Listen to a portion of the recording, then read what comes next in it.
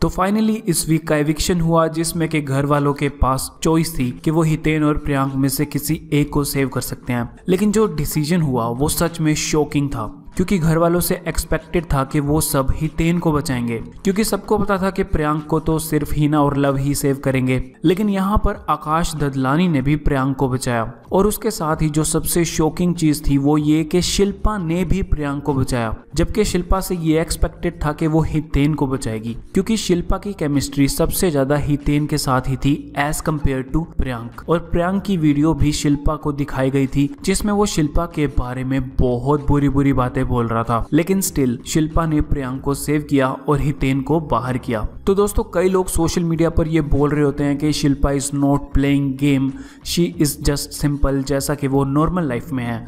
लेकिन यहाँ पे एक बात तो साबित होगी कि शिल्पा बहुत ही अच्छे वाली गेम खेल रही है। और शिल्पा ने भी ये कहा कि क्योंकि हितेन एक बहुत ही स्ट्रॉन्ग कंपेटिटर था शिल्पा के लिए, इसीलिए शिल्पा ने हितेन के अगेंस्ट वोट दिया। तो दोस्तों, आप बताओ कि आपको क्या लगता है शिल्पा के इस डिसीज़न के बारे में। प्लीज़ नीचे कमेंट सेक्शन में ज़रूर बताएँ और इसी तरह की और भी अपडेट्स के लिए बॉलीवुड टॉक के साथ बने रहें।